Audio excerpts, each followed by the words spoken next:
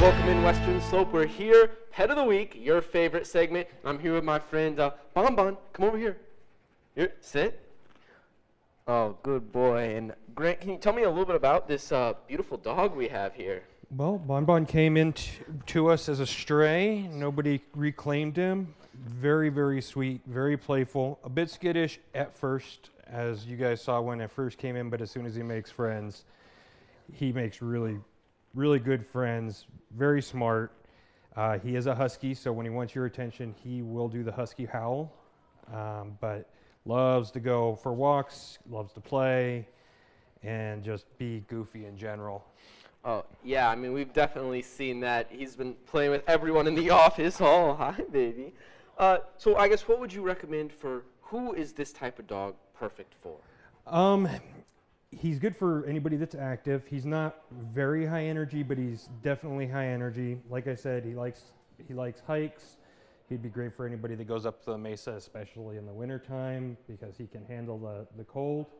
Um, with uh, kids, you'd want to you know take take some time to introduce him, but I think he would be a wonderful family dog with a little bit of time. And uh, he's done well with some of the other dogs.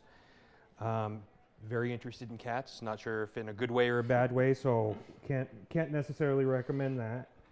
Yeah, and so I know with Huskies you mentioned the cold, but what Mhm. about the heat? I mean, what should people know if they have one of these dogs that's built for the cold? I mean, it gets hot here in Mesa County. It does. Um, definitely want them to have access to at least a lot of shade and a lot of water.